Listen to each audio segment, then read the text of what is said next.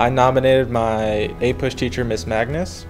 The most important thing Miss Magness did was that she let her students kind of be themselves in the classroom.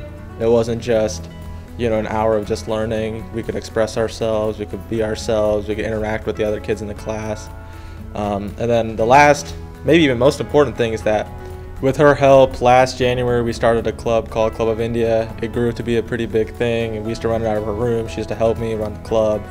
Um, and that was and that's part of the whole expressing ourselves. Thank you, Miss Magness. Thank you for uh, all the help and support over the last couple years, um, providing my rec letter to Emory, um, and really glad to be, glad to be here.